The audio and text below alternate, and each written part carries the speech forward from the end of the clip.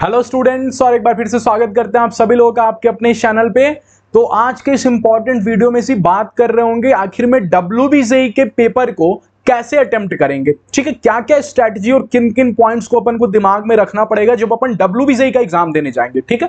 क्योंकि मैं starting of the video में आपको बता देना चाहता हूँ कि डब्ल्यू का एग्ज़ाम का डिफिकल्टी लेवल और डब्ल्यू एग्ज़ाम का पैटर्न बिल्कुल जेई मेन से अलग होता है।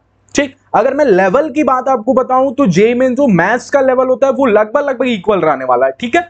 और फिजिक्स और केमिस्ट्री की बात करूँ तो थोड़ा सा लेवल कम रहेगा आपको डब्ल्यू में कंपेयर टू जे बट आपको टाइम मैनेजमेंट बहुत अच्छे से करना पड़ेगा डब्ल्यू में. क्यों भैया? क्योंकि इसमें आपको एक तो ओ एम आर सीट पर फिल करना होगा सभी चीज़ों को.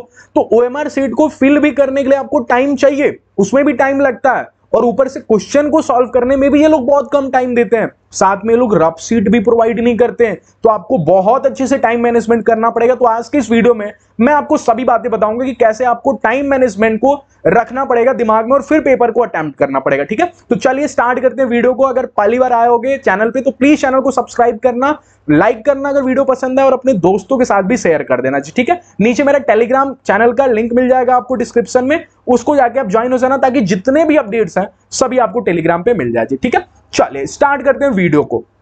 अब देखना, आपको पता है कि तीन सेक्शन होते हैं। भैया, इस एग्ज़ाम में सेक्शन ए सेक्शन बी और सेक्शन सी सेक्शन ए जो होता है सेक्शन ए जो होता है, वो आपको वन मार्क्स का होता है। ठीक है? और मैथ्स की बात करो तो मैथ्स में 50 क्वेश्चंस होते हैं वन मार्क्स में। अब बहुत सारे लोग आपको बताएँगे ना कि सेक्शन ए से पहले मतलब सेक्शन ए को बाद में सॉल्व करो। पहले आप सेक्शन बी को टच करो। क्यों? क्योंकि सेक्शन बी दो मार्क्स का होता है। मैं बोलता हूँ, बिल्कुल नहीं। ऐसा नहीं करना। क्यों सर क्योंकि देखो सेक्शन ए में जो क्वेश्चन मिलेंगे, वो कंपेयर टू सेक्शन बी थोड़ा सा इजी मिलेंगे। और आपको पता है, पूरा खेल पता है किस चीज़ का होता है? पूरा खेल कॉन्फिडेंस लेवल का होता है। कैसे सर कॉन्फिडेंस लेवल का कैसे होता है? अगर आप एग्ज़ाम टेस्ट कभी भी दिए होगे ना तो आपने फील किया होगा कि अगर मैं क्वेश्चन पेपर पलटू, शुरू के दस क्वेश्चन बीस क्वेश्चन देखे, मुझसे सॉल्व ही नहीं हुए। मेरा कॉन्फिडेंस लेवल ना ऑटोमेटिकली नीचे चला जाएगा। और अगर एक बार मेरा कॉन्फिडेंस लेवल चला गया ना नीचे तो ऐसे क्वेश्चन जो बहुत इजी और सॉल्व भी हो रहे हैं ना, मेरे से वो भी सॉल्व करने में बहुत परेशानी होता है। तो सबसे पहला मेरा जो टिप्स है ना, अपने कॉन्फिडेंस लेवल को इंक्रीज करना होगा। और उसको इंक्रीज करने के लिए आपको सेक्शन ए को दो अटेम्प्ट में खेलना होगा। दो अटेम्प्ट में खेलने का मतलब क्या हुआ भैया? कि आपको सबसे फ़र्स्ट अटेम्प्ट में उन सारे क्वेश्चन को जो बहुत इजी लग रहे हैं, सबसे पहले तो इजी प्लस में आपके स्ट्रॉन्ग चैप्टर्स के। ठीक है, जो भी चैप्टर आपने स्ट्रॉन्ग कर रखा है, जैसे फॉर एग्जांपल मान जो लिमिट कॉन्टिन्यूटी डिफरेंसिबिलिटी के क्वेश्चन बहुत इजी आते हैं, और आपने अगर अच्छे से पढ़ा, नहीं भी पढ़ा तो नीचे मेरा प्लेलिस्ट आपको क्रैश कोर्स का मिल जाएगा, उसमें सभी मैंने अच्छे से आपको पढ़ाया हुआ, ठीक है? इंटीग्रेशन दिख गया आपको डिफ्रेंसिएशन दिख गया, इसके बहुत ईजी क्वेश्चन आपको दिख रहे हैं सॉल्व कर लो। एक मार्क्स का है, फिर भी आप सॉल्व करोगे उससे पहले, ताकि आपका एक बार कॉन्फिडेंस लेवल तो बढ़े एटलीस्ट ठीक है? फिर आप उन क्वेश्चन को जो लग रहा है थोड़ा सा कंफ्यूजन है इसको बाद में कर सकता हूँ उसको आप छोड़ दो। मैं हमेशा बताऊँगा टाइम बिल्कुल नहीं देना है ज़्यादा। अगर मान जो कोई लेट से कोई एक क्वेश्चन आया मैं बोल देता हूँ कोई एक क्वेश्चन आया लिमिट का ही? है और मैंने लिमिट बहुत, बहुत मतलब स्ट्रांग करके रखा लिमिट के क्वेश्चन को तो छोड़ना नहीं। एक बार ट्राई करो एक बार ट्राई करो स्ट्रांग है। अगर आंसर नहीं आ रहा तो एक बार जल्दी जल्दी चेक कर लो कुछ गलती तो नहीं है। अगर दोबारा में भी आप फंस जा रहे हो ना स्किप दैट क्वेश्चन ये मेरा सबसे इंपॉर्टेंट आपको स्किपिंग करने आना पड़ेगा। आपको क्वेश्चन को सिलेक्शन कौन से क्वेश्चन करने हैं, कौन से क्वेश्चन छोड़ना है, ये सभी स्टूडेंट जो कर लेगा ना, वो टाइम को मैनेज कर लेगा। बहुत सारे स्टूडेंट पता है क्या गलती करते हैं? वो इस क्वेश्चन पे लेके बैठ जाएँगे। उन्होंने तो मन में बना लिया ईगो पे ले लिया, अपने नहीं, इस क्वेश्चन को तो मैं सॉल्व करके ही रहूँगा। इससे पता है क्या होगा? बहुत सारे क्वेश्चन जो इजी होंगे ना, आप उनको देख भी नहीं पाइएगा। सॉल्व करना तो दूर का बात है, देख भी नहीं पाइएगा, क्योंकि सिर्फ़ दो घंटे मिलेंगे भैया, सिर्फ़ टू आवर मिलेगा। ठीक है? उससे में आपको सब खेलना। तो सेक्शन ए को हमेशा दो पारियों में खेलना। पहले पारी में इजी क्वेश्चन स्ट्रॉन्ग क्वेश्चन जो मेरे से बन गए, एक ही बार में सॉल्व हो गए, उनको अटेम्प्ट कर लेना। है दोबारा कुछ क्वेश्चन को सर्कल करके रखना है, जिसको मैं दोबारा अटेम्प्ट करूँगा। ठीक है? तीसरी बारी का तो टाइम मिलेगा नहीं, इसीलिए दो बार में। अच्छा फिर आपको सेक्शन बी पे मूव करना है। मैं बोलता हूँ सेक्शन बी में भी दो होते हैं। एक तो होता है आपको सिंगल चॉइस सिंगल चॉइस मतलब सिंगल करेक्ट मैं बोल देता हूँ। सिंगल करेक्ट होता है और एक होता है मल्टीपल करेक्ट वाला। मोर देन वन ठीक है? मोर देन वन आपको पता है, इस बेचारे में ना कोई नेगेटिव मार्किंग होती ही नहीं है। तो आप सबसे पहले इसको ट्राई करो। सबसे पहले इसको ट्राई करो। देन आफ्टर आप इस पे आओ। ठीक? अब इस पर थोड़ा बहुत आप टाइम दे सकते हो। क्योंकि आपको दो मार्क्स दिलाएगा। सॉल्व करने पे आपको दो मार्क्स दिलाएगा।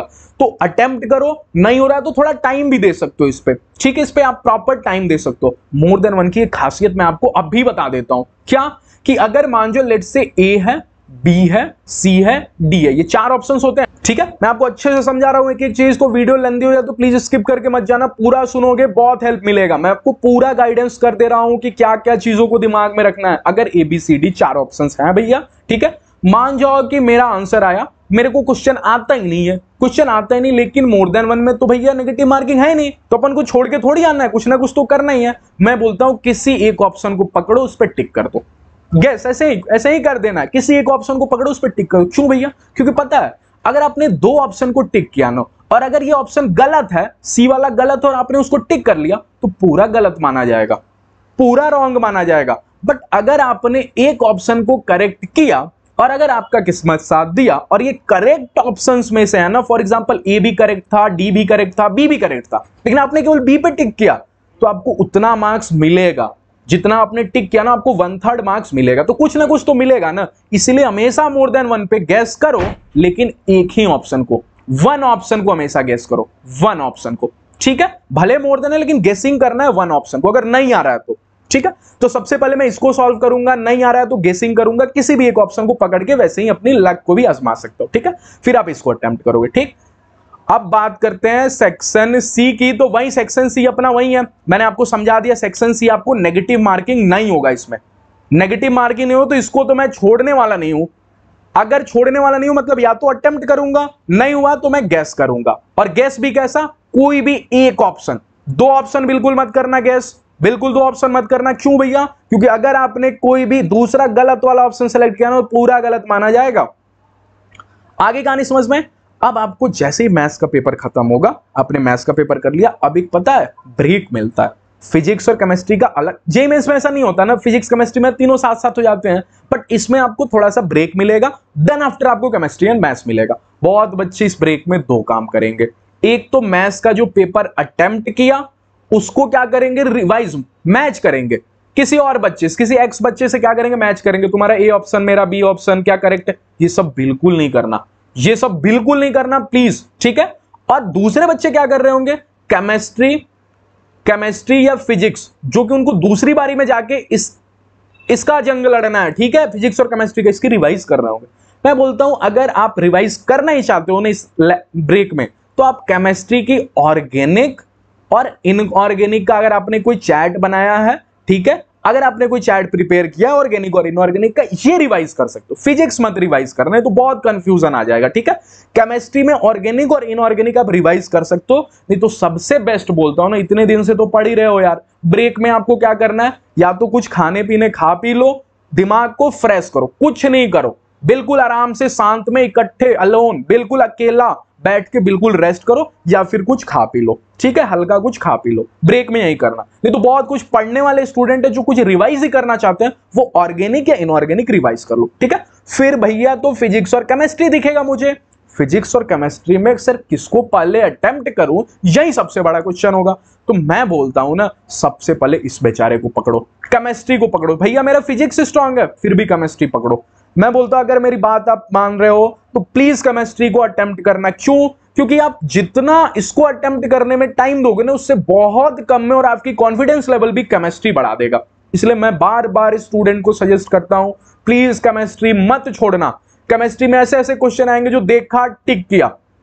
देखा टिक किया, ठीक है? पूछ देगा, आयरन का बताओ कौन से मेटल से एक्सट्रैक्ट होता है, ठीक है? डायरेक्ट एक एक लाइन में आपको ये रिएक्शन दिया होगा एल्काइल हेलाइड का, कोई डायरेक्ट आपको, ठीक है?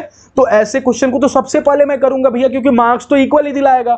ऐसा थोड़ी है फिजिक्स का ज़्यादा मार्क्स दिला देगा केमिस्ट्री तो सबसे पहले मैं केमिस्ट्री अटेम्प्ट करूँगा। और वही, सबसे पहले एक मार्क्स के क्वेश्चन फिर दो मार्क्स जो मैंने मैथ्स में बताया ना, सबसे पहले एक मार्क्स के क्वेश्चन करने हैं। दो बार में उसको अटेम्प्ट करने, एक बार में डायरेक्ट जो हो रहा है, दोबारा बार फिर से मुड़ के आना है और देखना है जो क्वेश्चन रह गया था, बच गया था, उसको ट्राई करना है।